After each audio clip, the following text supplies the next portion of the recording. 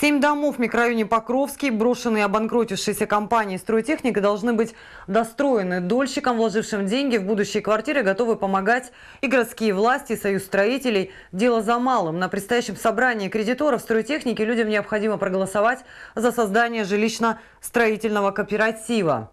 Иной возможности завершить стройку просто нет.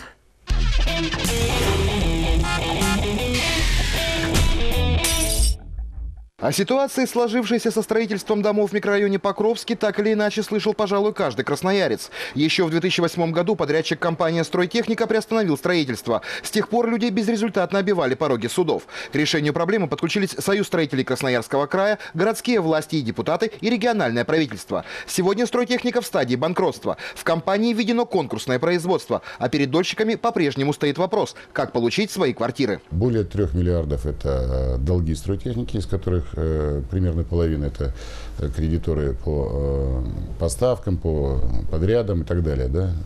А остальная часть это люди, дольщики, которым стройтехника не отдала, участники строительства, как называет закон.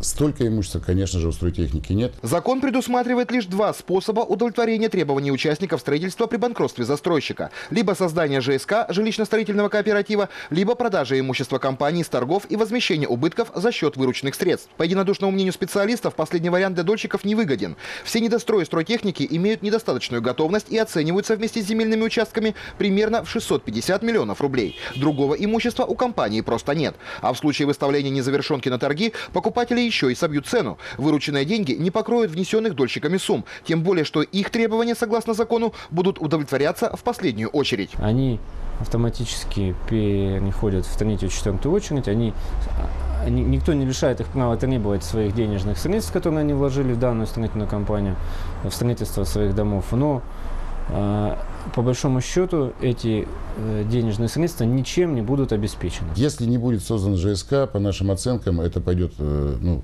по закону пойдет в распродажу. От 650 миллионов, возможно, станет гораздо меньше. Поэтому люди получат и так-то бы минимум того. То есть мы посчитали, если при прямой продаже вот за эти оценочные деньги, это наполнение порядка 15% от того, что люди когда-то заплатили.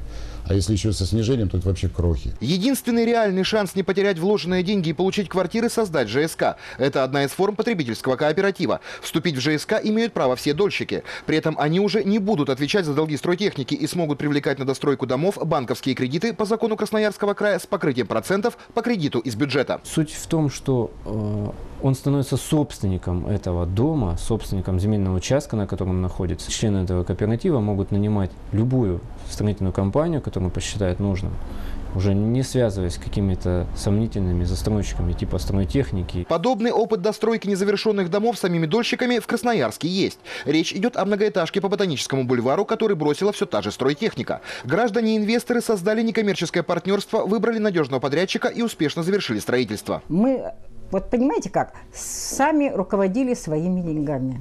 Вот. Мы боялись истратить куда-то копейку. И мы рады, что мы пошли этим путем, мы достроили свой дом, что мы не стали уповать на то, что, что нам кто-то поможет. И я бы советовала всем это сделать. Надо заметить, что сейчас большинство обманутых дольщиков стройтехники все-таки склоняются к созданию жилищно-строительного кооператива, после чего необходимо будет забрать землю и недостроив собственность ЖСК. Мы готовы э, все, что есть в стройтехнике, это 9 домов на сегодняшний день, 4 земельных участка, на которых они стоят, э, большие, неделимые, передать людям. Э, в этот самый жилищно-строительный кооператив, который они создадут. Вариант создания ЖСК для решения проблемы обманутых дольщиков стройтехники поддерживают и городские власти. Сейчас администрация Красноярска помогает инвесторам в оформлении и получении необходимых документов. Собрание кредиторов стройтехники состоится в понедельник, 22 апреля, в здании Миксмакс, улица Телевизорная, 1, строение 9. Регистрация участников начнется с 11 часов, а само собрание стартует в 14.00. Тогда и решится дальнейшая судьба микрорайона Покровский и обманутых дольщиков.